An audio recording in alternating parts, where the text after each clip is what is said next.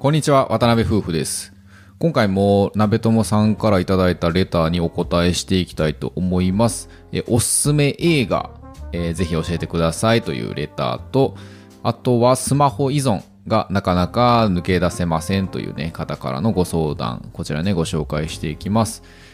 で、前半映画なんですけど、まあ、僕らね、あの晩ご飯食べながらいつも映画見てます。お昼はアニメかドラマ。アニメで言うと、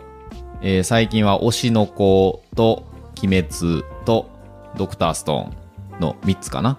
を見てますっていうのと、あとドラマはね、This is Us っていうね、ドラマを、えーいつもね、お昼ご飯は見てますと。で、夜ご飯は映画タイムでして、Amazon プライムでね、えー毎日いろんな映画を見てます。というわけで、えー今回はね、あの最近見た中で、これはおすすめやなという映画をね、いくつか6個かな、ピックアップしましたので、こちらね、ご紹介していきます。で、過去にもね、たくさん映画紹介してるので、まあ何せね、毎日見てるので、あの、いろいろね、見てきました、夫婦で。で、そのね、えージャンルごとのおすすめとか、えー感想とかね、過去の放送でも紹介してるので、ぜひね、放送の説明欄に URL も貼ってます。なんで今回の紹介してる映画以外でも、えー何かおすすめないかなという方は、えー説明欄の URL から過去の放送もね、ぜひ見てってください。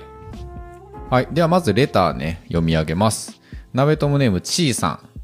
いつも楽しく聞かせていただいています。初めてレターを送らせていただきます。ありがとうございます。昔の放送回でディズニープラスのおすすめ映画を紹介されていたかと思いますが、今は Amazon プライムを契約されてるとおっしゃっていたかと思います。はい、そうなんですよ。あの、昔はディズニープラスも契約したし、ネットフリックスも契約したりしてるんですけど、まあ、ある程度見たら解約して、えー、Amazon プライムに乗り換えるっていう、まあ、そんなあの、ふらふら浮気しながらね、映画のサブスクは使ってます。Amazon プライムはもう普通にプライム会員ずっと入ってるんで、まあ、いつでも見れるんですよね。で、最近は Amazon プライムです。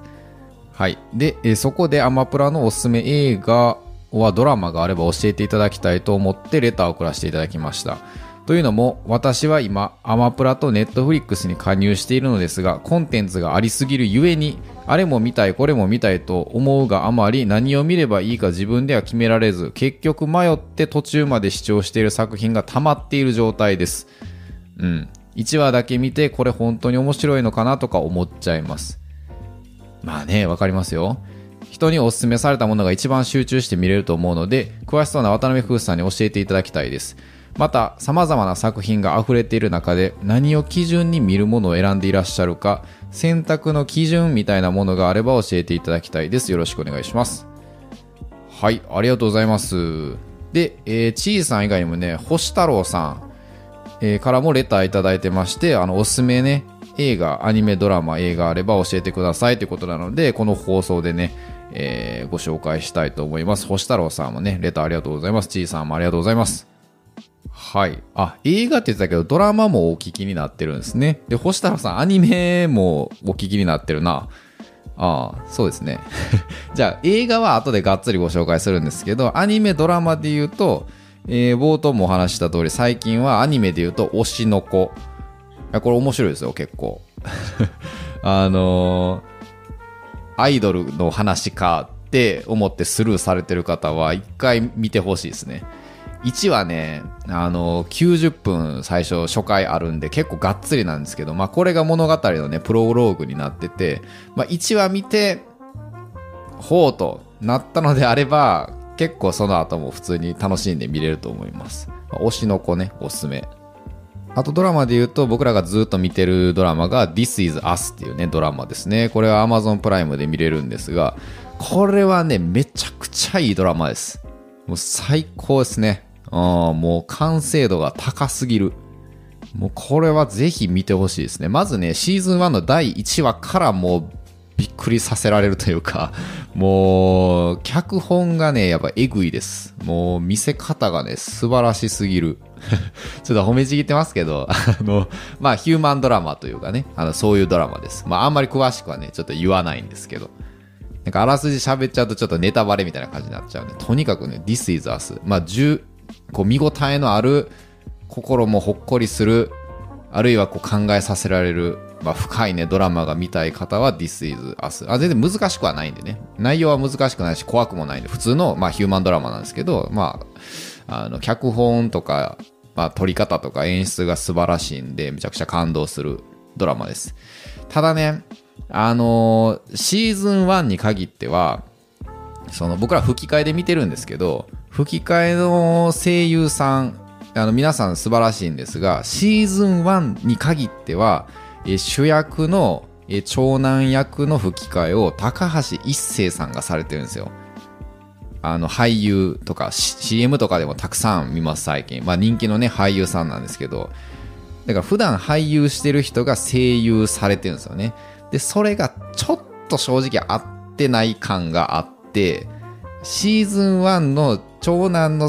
吹き替え声優だけちょっと高橋一生さんで普段の演技は素晴らしいんですけど、やっぱいざ声優ってなるとやっぱ別物なんでね。だからそこがちょっと浮いてるかなっていうのが気になってたんですが、実はシーズン2から別の方に変わりました。はい。なんでシーズン1だけちょっとその吹き替えに関してはその懸念というか、があるなっていうのが、あの、一個ね、お伝えしたいことなんですけど、まあドラマとしてはすごくいいし、シーズン2からは、あの皆さんもう声優さんが吹き替え全部されてるっていう、まあそんな感じです。This is Us もね、シーズン6か7ぐらいまで、6かな待って、まだ僕らもね、見切ってないところなんですけど、まあもうお昼ご飯食べながらね、ずっと、もう1年以上かな、見てます。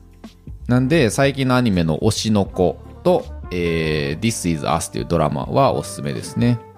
で、じゃあ、ここから映画の紹介ですね。最近見た中で、あ、これは面白いなっていう映画をね、えー、6つピックアップしました。で、僕らのね、映画の探し方なんですけど、うーん、まあ、割と Amazon プライムのホーム画面をガサガサっと朝ってなんとなく気になったやつを見るっていうのが多いですね。あんまりレビュー気にしてなかったりはします。レビューの数が多いとか少ないとか。で、逆にレビューが多すぎるとちょっと大衆向け映画になってくるんですよ。人気ってことなんでそれだけ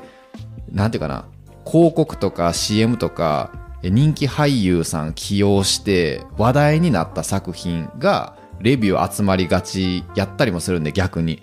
だからあんまりレビューの星が多いとかレビュー数が多いからいい作品とは限らんなとは正直思ってるんですよね。その人気で知名度あるっていうのは証明されるんですけどじゃあ面白いかっていうと別問題。で逆になんかレビュー何千とかなくてもうなんかアマゾンプライムのレビューもなんか10とか20ぐらいしかないけどめちゃくちゃおもろい作品とか全然あるんですよね。だからレビューの、えー、集まってる数人気度合いはそんなに気にしないよっていうのは結構心がけてますね。割とレビュー数に裏切られることよくあるんで、ね、やっぱりこう、面白いと、えー、みんなが知ってる人気の作品っていうのはまあ別物やったりね、まあするもんなんですよ。というわけでレビューは注意。でまあ映画賞をね受賞した作品っていうのはまあまだ信頼できるかなと思ってます。やっぱなんかなんとか賞とかね作品賞とか音響賞とか脚本賞とかねなんとかゴールデングローブとかアカデミー賞とかなんかあるじゃないですか。そういうやつを受賞したやつは、まあ一定の評価がされてるってことで、まあ、あの、それなりに見応えがあったり面白かったりする作品も多いなっていう印象はあります。うん。なんでまあ、受賞作品で選んだりとか、あと最近はね、あの、主演俳優さんで選んだりとか、あと映画監督で選んだりっていうのも多いですね。なんか、こう、あ、この俳優さん出てるんやったら好きかもとかね。この監督が撮ったんやったら好きかもっていう、まあそういう感じで選んだりしてます。で、そういう感じで選んでいくと、Amazon も学習して、ほな、あんたこれ好きやろって言ってね、似たような作品とか、同じ俳優さんが出てる作品をレコメンドしてくれたりするんで、まあそういう感じでね、あんな、これも見てみようかって言って、見たりしてますね。はい。まあ、というのがざっくりした選び方です。じゃあ、ここからね、具体的な作品ね、ご紹介していきます。え今回ご紹介するのは全部洋画になってます。はい、洋画ですね。ではまず1つ目の作品、えー、これがプリズナーズです、えー、2013年アメリカ制作のね、えー映画なんですけど、まあ、サスペンスっていうジャンルになるんかな。あと、ちょっとまあ、怖い感じ。怖いってホラーじゃなくて、まあ、最高スリラーサスペンスみたいな、ちょっともう冒頭からいきなり重たい映画なんですけど、まあ、めちゃくちゃ重たくてハラハラする映画です。うん。いや、これはね、いや、すごいですよ、このハラハラ感。いやー、ぜひね、こういうサスペンス系とかね、あの好きな方はちょっとぜひ見てほしいなって思います。あの主演がヒュー・ジャックマンっていうあの X メンのね、あの爪が出てくるあのミュータントのあの演じたヒュー・ジャックマンと、えージェイク・ギレンホール。これがダブル主演なんですけど、えーヒュー・ジャックマンが、えー被害者の、えー父親。でジェイク・ギレンホールが捜査する警察官っていう役ですね。ちなみにねあの僕らジェイク・ギレンホールめちゃくちゃ好きでして あのジェイク・ギレンホールの作品結構漁ってます。あのスパイダーマンのね「ファーフロムホーム」とか出てましたしあとね過去の放送でもご紹介したんですけど「ナイトクローラー」ってやつもジェイク・ギレンホールでねすごいおすすめの映画です。あとまあサウスポーとかねノクターナル・アニマルズ。えー、あとえープリズナーズでしょ？で複製された男にゾディアックにブロークバックマウンテンにとこう えージェイク・ギレンホール主演作品は結構最近よく見てます。でまあ面白いですよね。あの演技派でね。はい。まあ話それましたがまあそんなねあのー名俳優が、えー揃ってる作品になってます。であらすじをねちょっと読みます。プリズナーズね。えーアメリカ国民の誰しもが愛する家族と幸せなひとときを過ごす感謝祭の日。幼い少女が消えた。平穏な田舎町に突如訪れた惨劇。手がかりは少なく警察ジェイク・ギレンホールの捜査は錯綜する。そんな中父親のヒュー・ジャックマンは証拠不十分で釈放された第一容疑者の証言から彼が犯人だと確信する。残された時間は少ない。パパはどうして助けに来てくれない来てくれないの？愛する娘の叫びを心に聞いた父は自力で我が子を助け出すため決して越えてはいけない一線を越える決断をするのだが点点点ということで、まあ、娘がね消えたと。娘を取り返したい父親と捜査する警官。越えてはいけない一線を越える父、まあ、もうねもういきなり重そうな あらすじなんですけど、まあ、こんな話です、まあ、すごくねハラハラするしあのなんていうかなこの物語の展開も結構ね凝ってるんですよ。なんで見終わった後に感感想っていうかその解説見てあこういうなんかテーマやったんやっていうのを振り返ってみるのも面白いなって思います、まあ、ぜひね最後までうん見てほしいですね。ちょっと重ためでハラハラする、えサスペンス、スリラーの映画プリズナーズです。はい。では続いてです。え2番目ご紹介するのが、良き人のためのソナタ。これはドイツ制作の2006年のね映画なんですけど、これはね結構掘り出し物を当てたんじゃないかと思ってます。あの、プライムビデオのホーム画面でたまたま出てきてなんとなく気になったんで見てみたんですけど、これがまあね、あの、面白かったですね。なんか映画としてのエンターテインメント性もありつつ、物語としての深さもありつつ、なんかこう、アートな感じというか、こう余韻に浸らしてくれる感じもいいし、なんかいい映画見たなーって感じの感想が第、うん、第一声というか、見終わった後、はーって なった映画です。で、これどんな話かっていうと、あらすじね、これも読みます。1984年の東ベルリン。なんでまだ東西がね、分かれてた時の話です。えドイツがね。1984年の東ベルリン。国家保安省の局員ビースラー隊は国家に忠誠を誓っていた。ある日彼は反体制の疑いのある劇作家ドライマンとその同性相手の舞台女優クリスタを監視するよう命じられる。早速ドライマンのアパートには盗聴器が仕掛けられウィースラーは徹底した監視を開始する。しかし聞こえてくる彼らの世界にウィースラーは次第に共鳴していく。そしてドライマンが弾いたピアノソナタを耳にした時ウィースラーの心は激しく揺さぶられる。まあなんかあのさっきのねプリズナーズのあらすじと打って変わってなんかこうちょっと怖そうな設定かと思いきやなんかこうねこう心が激しく揺さぶられるみたいな。なんかちょっと思わせぶりなあらすじが書かれてるんですけどこれど何の話かっていうとまあ、東西がねあの西ドイツ東ドイツで分かれててでこれ東ドイツの話なんですよ。東ドイツってことはまあうん東東の国ですよね。まあソ連側とね言ってもいいのかもしれないですね。東ベルリン。でこの国の国家保安省なんで、まあ、国の安全を守るまあ役役人というかその偉い人。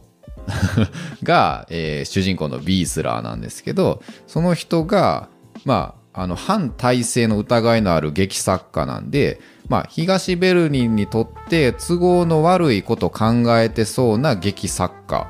のドライマンっていう人がターゲットで、まあ、その劇作家がね反体制の発言してたりとかなんかクーデター企てようとしてたりなんかこう東ベルリンにとって都合の悪いことをしてるんちゃうかっていうね。まあ、そういう疑いがあって監視することになったんですよねアパートに。もう盗聴器ねもう家中仕掛けてなんか悪いこと言ってないかとかこの東ベルリンあかんわとかねこうなんていうかな今の体制を批判するようなこと言ってないかなっていう、まあ、そういうことをねあのチェックするために監視してでその監視役になったんがビースラーっていう主人公なんですけどえー、まあねその盗聴していくにつれてその彼らのこう世界住んでる世界とか、えー、感性とかに、まあ、共鳴を受けて、ほんでどうすんねんっていう、まあ、そんな話です。なんかすげえ話やなってね 思うんですけど、うん、なんかね、なんていうかな。うーん、見やすい映画でしたね。なんか深さもあるし、見やすさもあるというか、あなんか嫌なシーンがあんまりない感じなんですかね。なんかうってなるシーンとかこの人嫌やなみたいな登場人物があんまりいないというか。なんか安心してねうん見れてなんか気持ちいい作品やったなっていうのが。まあやっぱそういう感想になるのはそういうところなんかな、まあ、とにかくねいい映画やなっていうのが あのシンプルな感想でした良き人のためのそなた、まあ、ぜひね見てみてください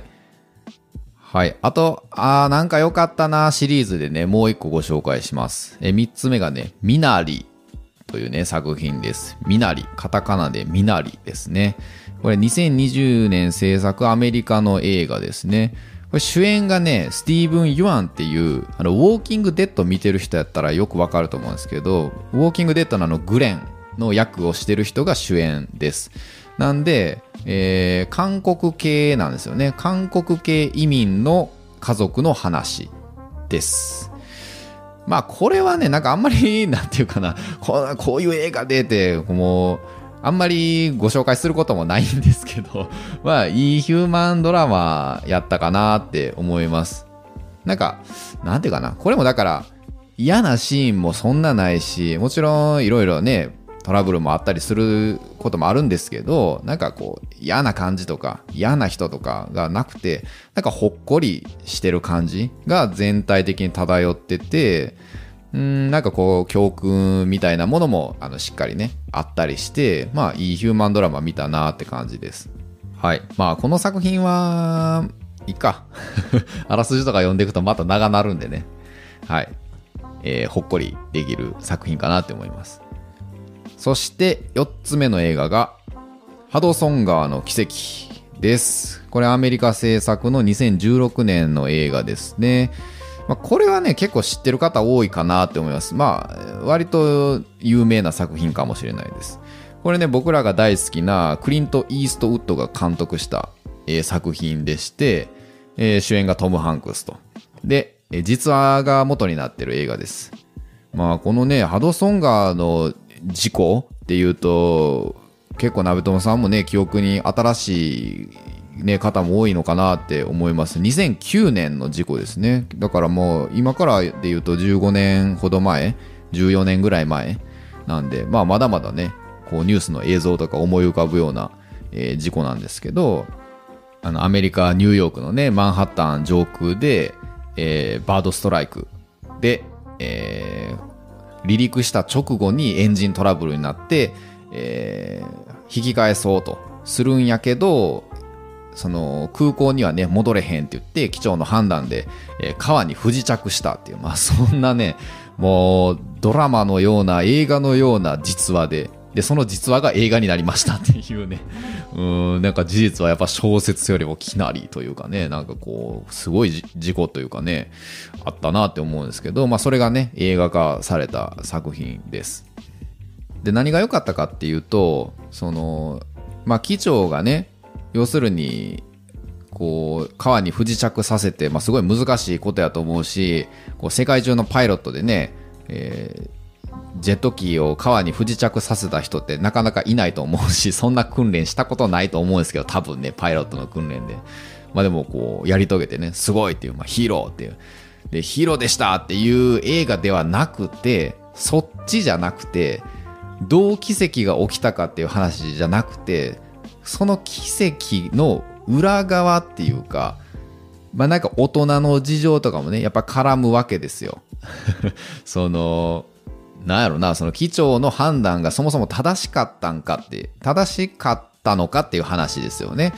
川に不時着して成功したで全員ね、命救出できましたってなったらそれは良かったねって話なんですけど、空港戻れへんかったんっていうことやったり、で、空港戻れなかって川に落ちたことによって飛行機はもうおじゃんですよね。もう飛行機はもう全然使い物にならなくなったわけで、損害もね、単なるエンジントラブルで、え空港着陸したらエンジンの修理だけで済んだのに、川に着陸したからもう機体そのものが使い物にならなくなってっていう、そういう損害も発生したわけじゃないですか。だから、えー保険会社的にも、なんか保険をちゃんと支払うべき事案なのか、ね、事故と言えるのかみたいな検証がめちゃくちゃ入ってるんですよ。やっぱそれだけでかいね。うん、まあ飛行機1機ってもう何十億とか何百億か知らないですけど、まあお金かかるじゃないですか。し、えー航空会社の、なんていうかな、メンツとかもあったりするし、だ事故がめちゃくちゃ検証されるんですよね、いろんな角度から。んで、どうやったのか、こうやったのか、気象はね、えー判断が正しかったのかとか、なんかそういうちょっとこう、うん、奇跡の裏側のいろんな出来事やったり、まあ、人間模様やったり葛藤やったりみたいなのがこう、渋くね描かれてる丁寧に描かれてるっていう感じの作品でなんかそこが良かったなって思います。なんか単に、ね奇跡えーなんか わかんないですけどめちゃくちゃ操縦技術こうやってうわあハラハラしてあ奇跡が起きたみたいな。こう無事着水したエンドロールじゃなくて 全然そこはあのメインじゃなくてその出来事の裏側がメインっていう感じなんでね、うん、だからなんかこう渋くて、えー見応えのある作品になってんのかなって思ったりして、まあ、僕はねそういう意味で好みでした。はい、まあ、ぜひね、えーこれもおすすめです。ハドソン川の奇跡。はい。では続いてがタリーと私の秘密の時間。です。これ2018年アメリカの映画ですね。えまあ、ジャンルコメディってね、なってたりするんですけど、なんか映画サイトの分類では。これはね、まあちょっとコメディではないですかね。まあ、まあ、なんて言ったらいいんかな。まあコメディっちゃコメディか。いや、まあ普通に、なんていうかな、ヒューマンドラマっていう感じの作品なんですけど、ちょっとなんかこう、うん、奇妙な感じもあったりするんで、決してね、なんか笑えるコメディっていう作品ではないので、もしなんかジャンルコメディになってて、あ、コメディやったらいいやって思われた方はね、いやいや、コメディじゃないんで、ぜひ見てくださいっていうのをお伝えしたいですね。はい。で、これはね、あの、ぜひね、あんまり調べたり、口コミ見たりせずに見てほしいです。あそれをね、あの推奨します。あの、口コミとか、ネタバレとか、なんか、解説とかね。そういうのは見ない方がいいですね。あ、あらすじだけね、読んでおきます。私、人に頼れないの。仕事に家事に育児と何事も完璧にこなしてきたマーロは3人目の子供が生まれてついに心が折れてしまう。そんな彼女のもとに夜だけのベビーシッターとしてタリーがやってくる。彼女はタメ口の今時女子なのに仕事は完璧。マーロの悩みも聞き、見事に解決してくれる。自由奔放なタリーと不思議な絆を深めていくうちに、マーロも本来の輝きを取り戻していくのだが、タリーは何があっても夜明け前に姿を消し自分の身の上は決して語らないのだった。っていうねちょっと不思議な感じのあらすじなんですよね、まあ、テーマとしては、まあ、子育てでベビーシッターとして、えー、タリーを、えー、来てもらってほんでタリーとまあ、私の秘密の時間っていうタイトルになるわけなんですけどね。うん、この辺がどうなっていくのかっていう話なんですが、まあ、ぜひ、あの、前情報いろいろ見ずに、まあ、とりあえず見てみてほしいなっていう そんなね、作品でざっくりした紹介なんですけど、おすすめです。はい。そして今回最後にご紹介するのが、ビッグアイズです。これアメリカの2014年制作の映画ですね。監督がね、ティム・バートンなんですよ。ティム・バートンというと、えー、っと、あの、なんやな、チャーリーとチョコレート工場とか、シザーハンズとか、ね、アリス・イン・ワンダーランドとか、なんかああいう、なんていうかな、ちょっとこう、ファンタジー系なね、イメージある監督ではあったんですけど、これはね、そんなファンタジーファンタジーしてないです。ビッグアイズ。っていうかもう普通の、なんか映画ですね。あの、別に、ね、ジョニー・デップも出てこないですし。はい、ビッグアイズ。これね、実は実話が元になってるらしいんですよね。それもまたいいですよね。あ、ていうかね、僕らあの映画選ぶ基準のもう一個、あの、実話がベースっていうのはね、結構そそられます。なんか、あ、実話なんやっていうと、なんか途端にちょっとこう、興味出るというか、集中力上がるというかね。うん。いつも実話ベースばっかり見てるわけじゃないんですけど、うん、なんかね、実話が元になってますって言われると、ちょっとこう、あのテンションが1個上がるっていう そんな性質があるんですけど、まあ、これもだから実はベースなんですよね。でランド映画かっていうと、えあらすじをね、じゃあ読みます。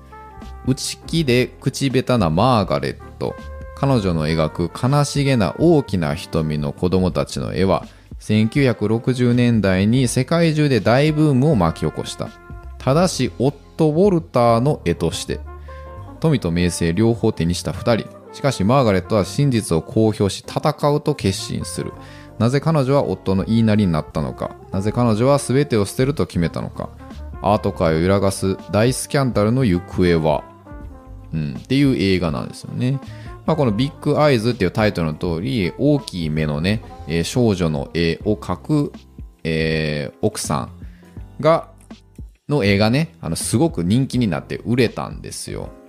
うん、ただ、その絵は売れるわけなんですけど売るためにはやっぱり営業力とかねこうこの店にこの絵置いてくださいよとかねこの絵に興味持った人にこれはこんな絵でって言ってこう営業をねやっぱかけて売るみたいな場面もあったりしてでそれがやっぱり、うん、アート気質で内気で口下手な奥さんにはできなくてただただ絵を描く、えー、ことがまあことしかできなかったというか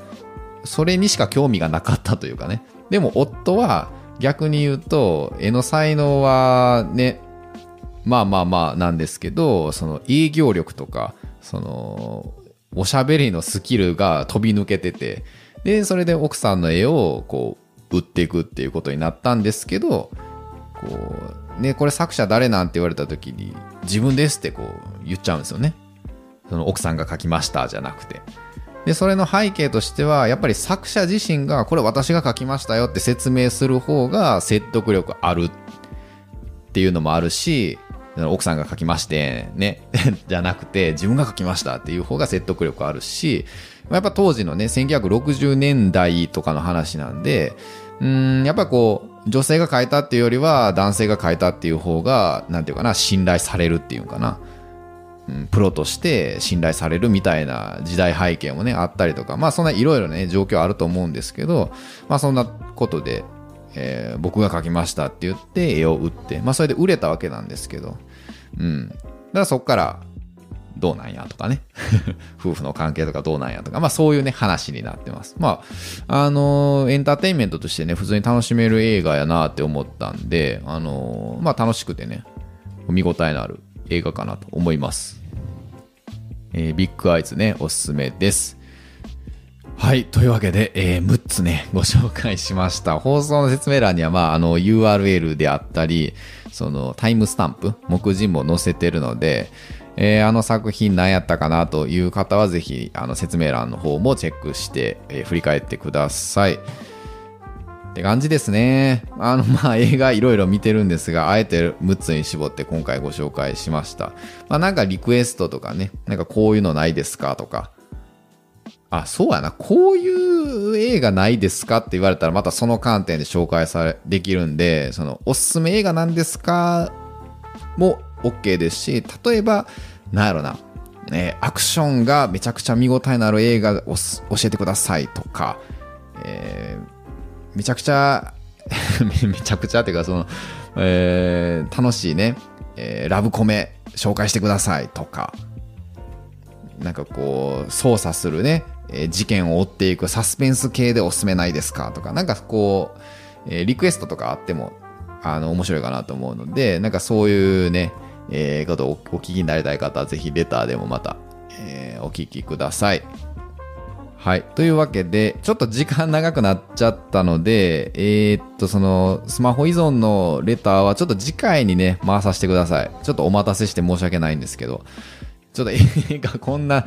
えー、いや、最初ね、10本の予定やったんですけど、いや、10本ちょっと多いなと思って、どうせ長なるし10本じゃなくてもう6本にね、6割に削ろうと思って削ったんですけど30分超えちゃいました。はい。